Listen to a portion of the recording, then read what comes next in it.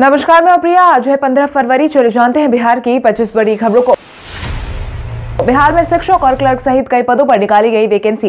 बिहार में रोज़गार एक बहुत बड़ा मुद्दा समय समय पर बनता रहा है। इसी क्रम में अब सरकार भी रोज़गार मुहैया करवाने की कोशिश में जुट गई है, जिसके तहत ही सैनिक स्कूल नालंदा, बिहार और सैनिक स्कूल रेवाड़ी, हरियाणा में विभिन्न शैक्षणिक और गैर शैक्षणिक पदों पर वैकेंसी निकाली गई है, जिसके तहत सैनिक स्कूल नालंदा, बिहार और सैनिक स्कूल रेवाड़ी, हरियाणा में विभिन्न शैक्षणिक और गैर शैक्षणिक पदों पर वैकेंसी निकाली गई है। पदों के नाम की बात करें तो काउंसलर, म्यूज़िक टीचर, कला मास्टर सहित विभिन्न पदों पर कुल मिलाकर बत्तीस भर्ती आमंत्रित आमंत्रित की गई है। इन पदों पर भर्ती कॉन्ट्रैक्ट के आधार पर की जाएगी। शैक्षणिक संस्थान में नौकरी की तलाश कर रहे युवाओं के लिए यह अवसर खास माना जा रहा है। ध्यान रहे, सैनिक स्कूल नालंदा में आवेदन करने की अंतिम तारीख तीन मार्च दो हज़ार इक्कीस है। इन पदों के लिए शैक्षणिक योग्यता की बात करें तो अभ्यर्थियों के पास अलग अलग पद के लिए शैक्षणिक योग्यता भिन्न भिन्न है। सैनिक नालंदा भर्ती के लिए सैनिक school Nalanda dot B I C dot N I C dot I N पर जाकर आवेदन भर सकते हैं। इसके साथ ही आप सैनिक स्कूल रेवारी के लिए W W W dot S S R W dot O R G पर जाकर आवेदन भर सकते हैं। इसके साथ ही आप नीचे डिस्क्रिप्शन बॉक्स में दिए गए वेब लिंक पर जाकर भी अन्य जानकारी ले सकते हैं। शिकायत मिलते ही 24 घंटे में बदल दिया जाएगा आपका बिजली मीटर। अब शिकायत मिलने के 24 घंटे बाद ही बिजली मीटर बदलने का काम किया जाएगा। शहरी क्षेत्र में 24 घंटे तो ग्रामीण इलाके में बहत्तर घंटों के अंदर बिजली मीटर बदलने की तैयारी की जा रही है। अभी व्यवस्था ट्रांसफार्मर के मामले में लागू है। बिजली मीटर के लिए सरकार ने विद्युत अधिनियम में संशोधन कर दिया है। नए नियम के अनुसार बिजली मीटर बदलने के लिए विनियामक आयोग समय तय करेगी, लेकिन इसमें साफ़ कहा गया है कि यह समय शहरी क्षेत्र के लिए चौबीस घंटे से अधिक नहीं होगा। इसी तरह नए नियम में यह प्रावधान किया गया है कि ग्रामीण इलाके इलाके के लिए भी विनियामक आयोग समय तय करे। फ़िलहाल बिहार के डिस्ट्रीब्यूशन कंपनियाँ नॉर्थ और south Bihar power distribution company limited को इन आदेश का पालन करने का निर्देश दिया गया है। नदियों के कारण बाढ़ झेल रहे प्रखंड पर अब होगी सरकार की नज़र। बिहार में जहाँ वर्तमान समय में कोविड 19 ने लोगों की परेशानी बढ़ा दी है, वहीं दूसरी तरफ़ बाढ़ भी लोगों की परेशानी का सबब बनता हर साल देखा गया है। वैज्ञानिक तरीके से शोध शुरू किया गया है। केंद्र और राज्य सरकार ने इस शोध की ज़िम्मेदारी Chandragupta institute of management Patna को दे दी है। आठ विशेषज्ञों की टीम राज्य के सात जिलों में शोध में जुट गई है, जो इसके बाद गंगा, गंडक, बूढ़ी गंडक, बागमती और कोसी नदी की बाढ़ में त्रासदी झेलने वाले सात जिलों को इस शोध में शुमार किया गया है। भारतीय सामाजिक विज्ञान अनुसंधान परिषद के सहयोग से राज्य में यह विस्तृत शोध कराया जा रहा है। इसमें मानव संसाधन विकास मंत्रालय भी सहयोग कर रहा है। इस शोध का विषय coping with climate change and human development challenge a study of Bihar रखा गया है। इस शोध के ज़रिए विशेषज्ञों की टीम यह जानने की कोशिश करेगी कि बाढ़ की त्रासदी झेलने वाले इलाकों के लोगों की शिक्षा का स्तर क्या है। मधुबनी ज़िले के सौराठ में आपको देखने को मिलेगा बहुत कुछ खास। बिहार में पर्यटकों के लिए काफ़ी सारे जगह घूमने के लिहाज से काफ़ी मशहूर है। इसी क्रम में हम आपको आज बिहार के मधुबनी ज़िले के सौराठ के बारे में बताने वाले हैं। मधुबनी से जयनगर जाने वाली सड़क पर सौराठ एक छोटा सा सड़क किनारे का गाँव है, जो लोकप्रिय सोमनाथ महादेव मंदिर के लिए जाना जाता है। हर साल पास के गाँव के सभी मैथिली ब्राह्मण वार्षिक सभा के दौरान यहाँ मिलते हैं और उन प्रस्तावों पर चर्चा करते हैं, जो अंततः शादियों में समाप्त हो जाते हैं। यह एक कारण है, जिसके लिए मंदिर बहुत प्रसिद्ध है। बिहार में कोविड 19 के मिले 100 से कम मामले। बिहार में कोविड 19 के मामलों में गिरावट देखने को मिल रही है। स्वास्थ्य विभाग की तरफ़ से मिली जानकारी के अनुसार, बीते दिन के पिछले 24 घंटे में कुल मिलाकर इक्यावन नए मामलों की पुष्टि हुई है, जिसके बाद टॉप तीन प्रभावित जिलों की बात करें, जिसमें राजधानी पटना में तेईस मामले सामने आए वहीं अररिया, बेगूसराय, लखीसराय, नालंदा और सीतामढ़ी में दो मामलों की पुष्टि हुई है। इसके साथ ही जहानाबाद में पाँच और कटिहार में तीन मामले सामने आए हैं, जिसके बाद बिहार में एक्टिव मामलों की संख्या अब छह सौ चौबीस बच गई है। खनिज विकास पदाधिकारी की परीक्षा को लेकर बीपीएससी ने जारी की तारीख। बिहार लोक सेवा आयोग ने खनिज विकास पदाधिकारी के लिखित प्रतियोगिता परीक्षा की तारीख की घोषणा कर दी है, जिसके परिणाम स्वरूप अब इस परीक्षा का आयोजन 27 और 28 फरवरी को करवाया जाएगा। आयोग ने संयुक्त सचिव से परीक्षा नियंत्रक अमरेंद्र कुमार ने इस बात की जानकारी दी है और बताया है कि उम्मीदवारों की सूची आयोग की वेबसाइट पर जारी कर दी गई है। यदि किसी अयोग्य उम्मीदवार को किसी प्रकार का दावा करना हो तो वो अपनी साक्ष्य के साथ बीस फरवरी तक अपनी आपत्ति ई कर सकते हैं। ई करने के लिए बीपीएससी ने एक साइट भी बताई है, जिसके तहत अब कोई भी उम्मीदवार BPSC P A T dash B I H at the rate N I C dot I N पर ईमेल कर सकते हैं। इतना ही नहीं, बिहार लोक सेवा आयोग ने सात फरवरी को हुई सहायक अभियोजन पदाधिकारी की पीटी में एक टाइपिंग में भूल को लेकर स्पष्टीकरण भी दिया है। बिहार पंचायत चुनाव में कई श्रेणी के लोगों को लगेगा आधा नामांकन शुल्क। राज्य निर्वाचन आयोग द्वारा तय प्रावधान के तहत त्रिस्तरीय पंचायत चुनाव का आयोजन जल्द ही होने वाला है। वहीं पंचायत चुनाव को लेकर सबसे कम नामांकन शुल्क वार्ड सदस्य और पंचायत अभ्यर्थियों को चुकाना होगा। पर्चा भरने के दौरान केवल इन्हें दो रुपए शुल्क के रूप में देने होंगे। हालाँकि आपको बता दें कि महिला एस सी और पिछड़े वर्ग के अभ्यर्थियों से महज आधा नामांकन शुल्क लेने का प्रावधान है। मसलन वार्ड सदस्य और पंच पद पर महिला एस सी और पिछड़े वर्ग के अभ्यर्थियों को एक रुपए नामांकन नामांकन शुल्क के रूप में देने होंगे। वही जिला परिषद सदस्य के लिए दो हज़ार नामांकन शुल्क तय किए गए हैं। आपकी जानकारी के लिए आपको बता दें, इससे पहले साल दो हज़ार सोलह के चुनाव में 10 लाख से ज़्यादा अभ्यर्थियों ने पर्चा भरा था। पटना एम्स में सोमवार से शुरू हो जाएगी ओपीडी सेवा। पटना एम्स में कोविड 19 के माहौल के बीच ओपीडी सेवा की शुरुआत आज से होने वाली है। फ़िलहाल एम्स में ओपीडी सेवा तो चल रही थी, लेकिन उसका लाभ एक दिन में केवल 20 लोगों को ही मिल रहा था। हालाँकि कोविड 19 को ध्यान में रखते हुए एक दिन पहले टेलीफोन से रजिस्ट्रेशन करना पड़ता था। एक दिन में केवल बीस मरीजों का ओपीडी में इलाज होने के कारण मरीजों को काफ़ी ज़्यादा परेशानी हो रही थी। हालाँकि अब कोविड नाइन्टीन के मरीजों की संख्या घटने के बाद अब सामान्य ओपीडी की शुरुआत होने जा रही है। इतना ही नहीं, पुरानी पद्धति से एम्स में इलाज और रजिस्ट्रेशन करवाने की पहल शुरू होने वाली है, जिसके तहत एम्स के चिकित्सा अधीक्षक डॉक्टर सी एम सिंह ने बताया है कि 15 फरवरी से एम्स के सभी विभागों की ओपीडी पुरानी पद्धति से संचालित होगी। बिहार में खोले जाएँगे तीन नए विश्वविद्यालय। बिहार में विश्वविद्यालयों में पढ़ाई को सुचारू रूप से चलाने के लिए जल्द ही तीन नए विश्वविद्यालय को खोलने पर सोच विचार किया जा रहा है। बिहार सरकार राज्य में शिक्षा की बेहतरी के लिए जल्द ही यह पहल करने जा रही है। नए विश्वविद्यालय खोलने के लिए कैबिनेट की मंजूरी भी मिल गई है। यह विश्वविद्यालय खेल चिकित्सा, विज्ञान और इंजीनियरिंग के क्षेत्र में स्थापित किए जाएँगे। इसको लेकर बिहार के उप मुख्यमंत्री तारकिशोर प्रसाद ने भी हाल ही में अपना बयान जारी किया है, जिसके तहत उन्होंने कहा कि खेल चिकित्सा, विज्ञान और इंजीनियरिंग के क्षेत्र में विश्वविद्यालय का निर्माण का निर्णय लिया गया है। इससे हमारे नौजवानों किसानों को अपने पैर पर खड़े होने का अवसर मिलेगा। साथ ही वो इन क्षेत्रों में देश का नाम भी रोशन कर पाएँगे। भारतीय नौसेना खेल कोटा ने निकाली रिक्तियाँ। भारतीय नौसेना खेल कोटा ने हाल ही में director entry PT officer senior secondary recruitment SSR matric भर्ती को लेकर आवेदन की मांग की है। इन पदों के लिए शैक्षणिक योग्यता की बात करें तो अभ्यर्थियों के पास दसवीं, बारहवीं पास होना अनिवार्य है। इच्छुक और योग्य उम्मीदवार अंतिम तारीख सात मार्च 2021 तक आधिकारिक वेबसाइट डब्ल्यू पर जाकर आवेदन भर सकते हैं। बिहारी पहचान में आज हम बात करेंगे एस एच बिहारी की शमशुल हुदा। बिहारी एक प्रसिद्ध गीतकार थे, उन्होंने हिंदी और उर्दू में रचनाएँ की हैं। इनका जन्म बिहार के आरा ज़िले में हुआ था। शुरुआत में कोलकाता में रहते हुए उन्होंने उन्नीस में मुंबई का रुख किया था। उन्हें बंगला भाषा में भी महारत हासिल थी और इनकी कई रचनाएँ हिंदू और उर्दू में भी है। आपको बता दें कि शमशुल हुदा बिहारी संगीतकार ओपी नैयर तथा गायक रफी एवं गायिका आशा भोसले के साथ इनकी जोड़ी बहुत प्रसिद्ध हुई है। उन्नीस सौ सतासी में हालाँकि उन्होंने आखिरी सांस ली थी। शमशुल हुदा ने अपने जीवन में कई गाने गाए हैं, जिसमें में बहुत शुक्रिया। बड़ी मेहरबानी मेरी ज़िंदगी में। हुजूर आपाए दीवाना हुआ। बादल सावन की छटा छाई है। दुनिया उसी की जमाना उसी का मोहब्बत में हो गया हो। किसी का समेत कई गाने की रचना उन्होंने की है। सपना चौधरी के गाने पर ठुमके लगाने वाले शिक्षकों को किया गया सस्पेंड स्कूल जहाँ विद्या का मंदिर माना जाता है, वहीं ऐसे कई शिक्षक का मामला हाल ही में सामने आया है, जो सपना चौधरी के गाने पर स्कूल परिसर में ठुमका लगाते देखे जा रहे थे।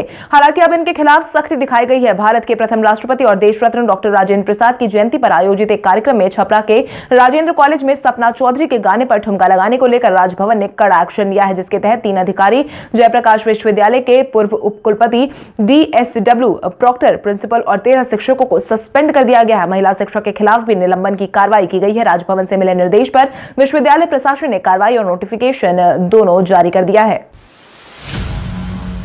दो दिवसीय आईजीआईएमएस फिजियोकॉन हुआ संपन्न। आईजीआईएमएस में फिजियोथेरेपी विभाग द्वारा आयोजित फिजियोकॉन जिसमें देश के विभिन्न भागों से भौतिक चिकित्सकों ने भाग लिया। भाग लेने वालों में मुख्यतः डॉक्टर राजीव अग्रवाल एवं doctor Prabhat Ranjan, M Delhi doctor Vishnu Maharashtra, doctor Mukesh Bhatt, Gujarat doctor Prakash Hyderabad, doctor Upendra Goswami एवं डॉक्टर प्रदीप सरकार, पीजीआई चंडीगढ़ थे। इन वक्ताओं ने विभिन्न विषयों पर भौतिक चिकित्सा के महत्व को प्रकाशित किया। इस अवसर पर माननीय स्वास्थ्य मंत्री मंगल पांडे ने देश के अन्य भागों से आए हुए भौतिक चिकित्सकों को भौतिक चिकित्सा क्षेत्र में उत्कृष्ट योगदान के लिए सम्मानित भी किया, जिसमें प्रमुख doctor Prabhat Ranjan, doctor Sujit Kumar, doctor Vishnu, doctor Mukesh Bhatt आदि रहे। इस सम्मेलन के मुख्य आयोजनकर्ता doctor Vinay Pandey, doctor Ratnesh Chaudhary, Avinash Chaudhary, doctor Vibhuti, doctor Runjhun आदि रहे हैं। सहरसा में समस्तीपुर रेल मंडल का पहला ऑटोमेटिक कोच वॉशिंग प्लांट बनकर हुआ तैयार। सफ़ाई या धुलाई के कारण ट्रेन अक्सर लेट हो जाया करती थी, लेकिन अब ट्रेन सफ़ाई या धुलाई के कारण लेट नहीं होगी। ऑटोमेटिक व्यवस्था के कारण ट्रेनों के कोच के बाहरी हिस्से अब पूरी तरह से चमकते नज़र आएँगे। रेलवे की तरफ़ से मिली जानकारी के अनुसार ऑटोमेटिक कोच वॉशिंग प्लांट की वजह से अब यात्रियों को बेवजह इंतज़ार करने की कोई ज़रूरत नहीं होगी। मिली जानकारी के अनुसार बिहार के सहरसा शहर के कोचिंग डिपो के पास समस्तीपुर मंडल का पहला ऑटोमेटिक वॉशिंग प्लांट बनकर तैयार हो गया। इसमें महज पाँच मिनट में ट्रेन की सभी चौबीस बोगियों के बाहरी हिस्से की धुलाई और सफ़ाई आसानी से हो जाएगी। सबसे खास बात यह है कि सफ़ाई कार्य में लगने वाले 80 प्रतिशत पानी का दोबारा उपयोग हो सकेगा। एक कोच की धुलाई और सफ़ाई में लगने वाली 250 से 300 लीटर पानी की बजाय मात्र 50 से 60 लीटर पानी ही लगेंगे। उसमें से भी 80 प्रतिशत पानी रिसाइकल होकर दोबारा उपयोग में लाया जा सकेगा। ऑटोमेटिक कोच वॉशिंग प्लांट लगाने से पानी की बचत के साथ पर्यावरण संरक्षण भी हो सकेगा। सिकंदराबाद दानापुर विभूति एक्सप्रेस समेत कई ट्रेन दौड़ेंगी बदले रूट पर। सिकंदराबाद जंक्शन से दानापुर के बीच चलाई जाने वाली ट्रेन 19 फरवरी तक बदले रूट पर चलाई जाने वाली है। गाड़ी संख्या शून्य दो सात नौ एक इस अवधि तक अपने बदले मार्ग प्रयागराज, शिव की मिर्जापुर, पंडित दीनदयाल उपाध्याय जंक्शन के रास्ते परिचालित करवाई जाएगी। इसके साथ ही हाजीपुर और सोनपुर के रास्ते चलाई जाने वाली स्वतंत्रता सेनानी एक्सप्रेस और पवन एक्सप्रेस का रूट भी बदल दिया जाएगा। इसके तहत लोकमान्य तिलक जयनगर, लोकमान्य तिलक टर्मिनल एक्सप्रेस उन्नीस फरवरी तक अपने बदले रूट से चलेगी। इसके साथ ही ट्रेन नंबर शून्य दो तीन तीन तीन तीन पटना के रास्ते। हावड़ा से चलकर प्रयागराज रामबाग जाने वाले विभूति एक्सप्रेस उन्नीस फरवरी तक प्रयागराज रामबाग नहीं जाएगी। वहीं प्रयागराज रामबाग हावड़ा बीस फरवरी तक मंडुवा डी से ही पटना हावड़ा के लिए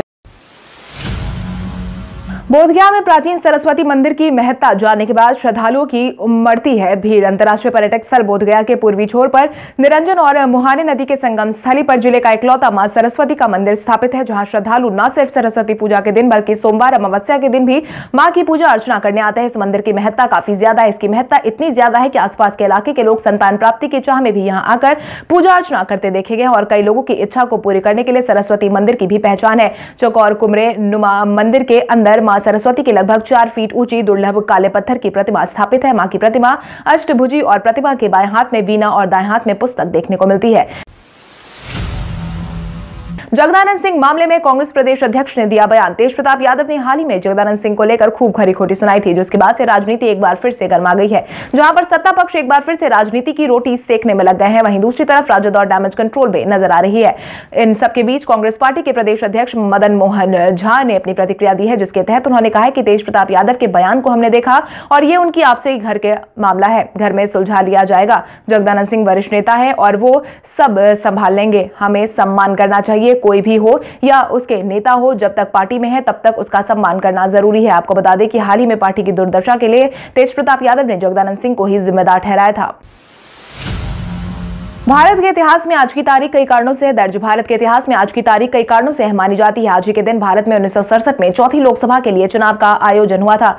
मध्य प्रदेश की राजधानी भोपाल में केंद्रीय कृषि अनुसंधान संस्थान की स्थापना उन्नीस में आज के दिन की गई थी। मशहूर फ़िल्म निर्माता निर्देशक बी आर चोपड़ा को 2000 में दादा साहेब फाल्के पुरस्कार से आज के दिन सम्मानित किया गया था। हिंद महासागर के तटीय देश के नौसेना प्रमुख का 2008 में पहला सम्मेलन नई दिल्ली में आज के दिन संपन्न हुआ था। भारतीय इतिहासकार और लेखक राधा कृष्ण चौधरी का जन्म उन्नीस सौ में आज ही के दिन हुआ था। भारतीय अभिनेत्री मीरा जैस्मिन का जन्म उन्नीस सौ चौरासी में आज ही के दिन हुआ था। उन्नीस सौ उनहत्तर में महान उर्दू कवि और लेखक मिर्ज़ा गालिब ने दुनिया को अलविदा कहा था। इसके साथ ही हर साल आज ही के दिन को उत्पादकता सप्ताह के रूप में भी मनाया जाता है। पुलवामा मामले में जान गंवाने वाले शहीदों को बीते दिन सेलिब्रिटीज ने किया याद। पुलवामा मामले में जान गंवाने वाले शहीदों को बीते दिन सेलिब्रिटीज ने याद किया है, जिसके तहत अक्षय कुमार से लेकर सिद्धार्थ मल्होत्रा समेत कई कलाकारों ने शहीदों को नमन करते हुए अपना ट्वीट जारी किया है, जिसके तहत अक्षय कुमार ने कहा है कि देश आपका हमेशा ऋणी रहेगा और वहीं अन्य सितारों ने शहीदों की तस्वीर शेयर करते हुए उन्हें याद किया है। वहीं दूसरी तरफ़ सिद्धार्थ मल्होत्रा ने भी चौदह फरवरी को जान गंवाने वाले शहीदों को याद करते हुए नमन किया है। आपको बता दें, जैश मोहम्मद ने चौदह फरवरी दो हज़ार उन्नीस को पुलवामा में सैनिकों से भरी बस पर निशाना साधा था। जिसके बाद सीआरपीएफ के 40 जवान शहीद हो गए थे। पूरी दुनिया ने इस घटना की कड़ी आलोचना की थी। किसान मजदूर बेरोजगार यात्रा में शामिल हुए पप्पू यादव। जन अधिकार पार्टी के अध्यक्ष पप्पू यादव बीते दिन किसान मजदूर बेरोजगार यात्रा में शामिल हुए थे। इस दौरान उन्होंने सरकार पर निशाना भी साधा। पप्पू यादव ने इस दौरान लखीसराय से मुकामा पहुँचे थे। और इस यात्रा में शामिल होते हुए पप्पू ने कहा है कि बिहार में अनाज मछली और दूध का उत्पादन प्रचुर मात्रा में होता है, पर सरकार की गलत नीतियों के कारण किसान भूखे हैं। हमारे देश में किसान मजदूरों को दशा में किसान आंदोलन का श्री गणेश किया गया है। आज देश का किसान सड़क पर खड़ा है, लेकिन केंद्र सरकार उनकी आवाज़ अनसुनी कर रही है। बिहार सरकार भी किसानों के साथ सौतेला व्यवहार कर रही है। तेजस्वी यादव ने नीतीश सरकार मंत्रिमंडल को लेकर दिया बयान। बिहार में खरमास के बाद से ही मंत्रिमंडल विस्तार को लेकर हर दिन खबरें सामने आती रहती हैं। हालाँकि कुछ दिनों पहले ही आखिरकार मंत्रिमंडल पर लगा ग्रहण हटाया गया और मंत्रिमंडल का विस्तार किया गया। लेकिन मंत्रिमंडल के विस्तार के साथ ही बिहार की राजनीति भी गर्मा गई, जिसके तहत नेता प्रतिपक्ष तेजस्वी यादव ने एक बार फिर से मंत्रिमंडल में शामिल मंत्रियों को लेकर अपना बयान जारी किया है, जिसके तहत उन्होंने ट्वीट कर आरोप लगाया है कि बिहार का दुर्भाग्य है कि सरकार चलाने वालों को पता ही नहीं है कि उनके मंत्रिमंडल में शामिल तीस में से अठारह मंत्रियों के खिलाफ आपराधिक मामले दर्ज है। नेता प्रतिपक्ष तेजस्वी यादव इतने पर ही नहीं रुके। उन्होंने पूछा कि क्या भले ऐसे भोले भाले अनभिज्ञ लोगों को कुर्सी पर बने रहने का नैतिक अधिकार है। जीतन राम मांझी ने तेजस्वी यादव से पूछे सवाल। पूर्व मुख्यमंत्री जीतन राम मांझी ने राजद नेताओं पर पलटवार किया है, जिसके तहत उन्होंने ट्वीट करते हुए आरोप लगाया है कि राजद नेताओं को पता होना चाहिए कि उनके 40 विधायकों पर गंभीर आपराधिक मामले दर्ज है। मांझी ने पूछा है कि क्या राजद नेताओं की अपराधियों और भ्रष्टाचारियों के साथ कोई साठगांठ है जो उन लोगों ने नेता विरोधी दल बनाए हैं, जिस पर खुद कई तरह के मामले चल रहे हैं? क्या राजद नेताओं के लिए दाग अच्छे हैं? वहीं इस मामले को लेकर प्रदेश जदयू प्रवक्ता अरविंद निषाद ने भी हाल ही में अपना बयान जारी किया है, जिसके तहत उन्होंने प्रतिक्रिया देते हुए कहा है कि बिहार समेत देश भर की जनता लालू यादव के परिवार के घोटाले बाज राजनीतिक परिवार के रूप में उन्हें अच्छे से जानती है। आईआरसीटीसी ने जारी किया नया payment gateway, Indian railway tourism and catering corporation ने अपनी वेबसाइट पर रेल कनेक्ट ऐप में कई बड़े बदलाव किए हैं। इसके साथ ही नई पेमेंट गेटवे आईआरसीटीसी आई पे की लॉन्चिंग भी कर दी है। इसके ज़रिए यात्री पेमेंट कर सकेंगे, जिससे बुकिंग आसान हो जाएगी। साथ ही रिफंड मिलने में भी कम समय लगेगा। यह रेलवे का खुद का पेमेंट गेटवे है, जिससे थर्ड पार्टी के पेमेंट गेटवे से निर्भरता खत्म हो जाएगी। आपको बता दें, यात्रियों के लिए इसे लाइव कर दिया गया है, जिसके परिणाम स्वरूप अगर यात्री कोई भी टिकट कैंसिल करता है तो उसका रिफंड उसे तुरंत मिल जाएगा। इतना ही नहीं, यात्रियों के समय की भी बचत होगी। दूसरे टेस्ट मैच के पिच को लेकर आपस में भिड़े माइकल वॉन और शेन वॉर्न। भारत और इंग्लैंड के बीच खेली जा रही चार टेस्ट मैच की सीरीज़ का दूसरा मैच चेन्नई के एम चिदम्बरम स्टेडियम में खेला जा रहा है। टेस्ट का दूसरा दिन भारतीय गेंदबाजों के नाम रविचंद्रन, अश्विन की अगुवाई में टीम ने इंग्लैंड को पहली पारी में महज एक सौ चौंतीस रनों पर ऑल आउट कर दिया और वहीं एक सौ पंचानवे रनों की बड़ी बढ़त हासिल की। अश्विन ने शानदार गेंदबाजी करते हुए पाँच विकेट झटके इस पिच पर मैच के दूसरे ही दिन गेंदबाजों का काफ़ी टाइम मिलता भी देखा गया है, जिसके चलते बल्लेबाज के लिए रन बनाना बहुत मुश्किल रहा। इसी बीच पिच को लेकर इंग्लैंड के पूर्व कप्तान माइकल वॉन और शेन वॉन ट्विटर पर आपस में भिड़ गए हैं, जिसके तहत माइकल वॉन ने ट्वीट करते हुए लिखा है कि यह रोमांचक क्रिकेट है और यहाँ पर हर समय कुछ ना कुछ होता रहता है, लेकिन अगर ईमानदारी से कहो तो यह पिच से काफ़ी चौंकाने वाली है। मैं किसी भी तरह का कोई बहाना नहीं बना रहा हूँ, जिस पर शेन वॉर्ड ने लिखा है कि इस मैच के मुकाबले पहले टेस्ट में टॉस जीतना काफ़ी महत्वपूर्ण था। अब चलिए जानते हैं सराफा बाज़ार और पेट्रोल डीजल के क्या थे भाव। अगर हम सराफा बाज़ार की बात करें तो सोने का भाव 14 फरवरी को 22 कैरेट के लिए प्रति 10 ग्राम छियालीस हज़ार तीन सौ चालीस रुपए था, वहीं 24 कैरेट के लिए प्रति 10 ग्राम सैंतालीस हज़ार तीन सौ सत्तर रुपए था। इसके साथ ही अगर हम चांदी की बात करें तो चांदी का भाव प्रति किलो उनहत्तर हज़ार दो सौ रुपए था, वहीं राजधानी पटना में पेट्रोल की कीमत इक्यानवे दशमलव दो आठ रुपए प्रति लीटर थी, वहीं डीजल चौरासी दशमलव चार दो रुपए प्रति लीटर था। कल हमारे द्वारा पूछे गए सवाल का जवाब आप में से बहुत सारे यूज़र ने हमें कॉमेंट करके दिया था। उसके लिए आपका बहुत बहुत धन्यवाद। आप में से जिन यूज़र का कॉमेंट हमें अच्छा लगा है। उनके नाम है विनय राजा, जगलाल कुमार, दीपक श्रीवास्तव, राहुल मंडल, नंदनी कुमारी, सुप्रिया, रोशन गौरी शंकर शर्मा उत्तम शर्मा, मिस्टर अमरजीत कुमार यादव, रितेश पांडे, दीपक श्रीवास्तव, सुनील कुमार महतो, असलम राज, नीलम भारती, राज पांडे, स्वीटी सिन्हा, रोशन कुमार, सलीम भाई। इसके अलावा हमारी टीम को और भी लोगों के जवाब अच्छे लगे हैं। मगर समय के अभाव के कारण हम उनका नाम नहीं ले पाए, लेकिन आप हमारे सवालों का जवाब देते रहे। हम कल आपका नाम लेने की पूरी कोशिश करेंगे। तो चलिए बढ़ते आज के सवाल की ओर। आज का सवाल कुछ इस प्रकार है। आपके अनुसार बिहार की सबसे बड़ी खासियत क्या है? अपने जवाब हमें कॉमेंट करके ज़रूर बताएँ। इसके साथ ही आज के लिए बस इतना ही। अगर आप वीडियो हमारा यूट्यूब पर देख रहे हैं तो हमारे चैनल को सब्सक्राइब करें और बेलाइकॉन दबाना ना भूलें। धन्यवाद।